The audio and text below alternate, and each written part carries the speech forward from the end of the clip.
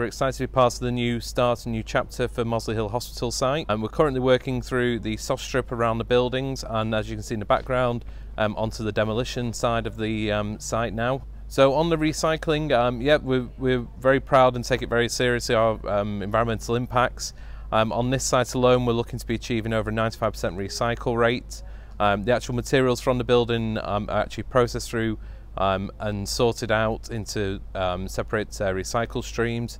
We're currently, um, with the majority of the building, will actually get crushed on site and actually reused for parts of new construction on site, so therefore reducing the, the movements and materials off site.